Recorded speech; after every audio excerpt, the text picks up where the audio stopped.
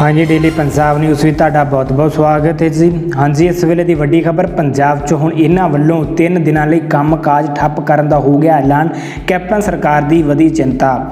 ਹਾਂਜੀ, ਖਬਰ ਨੂੰ ਸਾਂਝੀ ਕਰਨ ਤੋਂ ਪਹਿਲਾਂ ਸਰੋਤੇ ਵੀਰੋ, ਜੇਕਰ ਤੁਸੀਂ ਸਾਡੇ ਚੈਨਲ ਤੇ ਨਵੇਂ ਹੋ, ਤਾਂ ਸਾਡੇ ਚੈਨਲ ਨੂੰ ਸਬਸਕ੍ਰਾਈਬ, ਵੀਡੀਓ ਨੂੰ ਲਾਈਕ ਅਤੇ ਸ਼ੇਅਰ ਕਰਨਾ ਨਾ ਭੁੱਲਣਾ।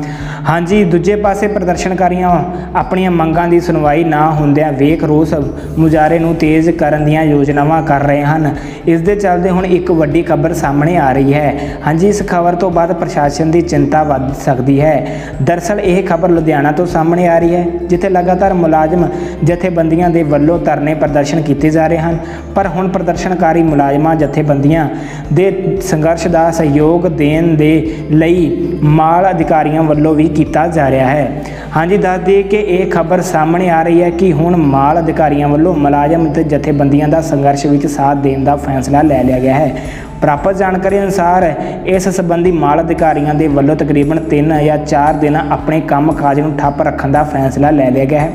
ਦੱਸ ਦਈਏ ਕਿ 2 ਅਗਸਤ ਤੋਂ ਲੈ ਕੇ 4 ਅਗਸਤ ਤੱਕ ਮਾਲ ਅਧਿਕਾਰੀਆਂ ਦੇ ਵੱਲੋਂ ਕੰਮ ਕਾਜ ਨੂੰ ਠੱਪ ਕਰਨ ਦਾ ਐਲਾਨ ਕਰ ਦਿੱਤਾ ਗਿਆ ਹੈ। ਹਾਂਜੀ, ਦੱਸ ਦਈਏ ਕਿ ਇਸ ਹਮਾਇਤ ਸੰਬੰਧੀ ਜਾਣਕਾਰੀ ਮਾਲ ਅਧਿਕਾਰੀਆਂ ਦੇ ਜਥੇਬੰਦੀ ਵੱਲੋਂ ਦਿੱਤੀ ਗਈ ਹੈ। ਦਰਅਸਲ, ਇਸ ਸੰਬੰਧੀ ਮਾਲ ਅਧਿਕਾਰੀਆਂ ਦੀ ਦੀ ਜਥੇਬੰਦੀ ਦੇ ਜਨਰਲ ਸਕੱਤਰ ਸੁਖਚੈਨ ਸਿੰਘ ਚੈਨੀ ਨੇ ਜਾਣਕਾਰੀ ਸਾਂਝੀ ਕੀਤੀ ਹੈ। ਦੱਸ ਦਈਏ ਕਿ ਦੂਜੇ ਪਾਸੇ, ਇਸ ਤੋਂ ਇਲਾਵਾ ਕੱਚੇ ਅਧਿਆਪਕਾਂ ਦੇ ਵੱਲੋਂ ਵੀ ਆਪਣੀਆਂ ਮੰਗਾਂ ਨੂੰ ਲੈ ਕੇ ਲੰਬੇ ਸਮੇਂ ਤੋਂ ਸੂਬਾ ਸਰਕਾਰ ਦੇ ਖਿਲਾਫ ਰੋਸ ਪ੍ਰਦਰਸ਼ਨ ਕੀਤਾ ਜਾ ਰਿਹਾ ਹੈ। ਤੇ ਹਾਂਜੀ, ਸਰੋਤੇ ਵੀਰੋ, ਇਸ ਦੇ ਨਾਲ ਹੀ ਇਹ ਸਾਡੀ ਖਬਰ ਇੱਥੇ ਸਮਾਪਤ ਹੁੰਦੀ ਹੈ। ਮੈਨੂੰ ਦਿਓ ਇਜਾਜ਼ਤ, ਧੰਨਵਾਦ।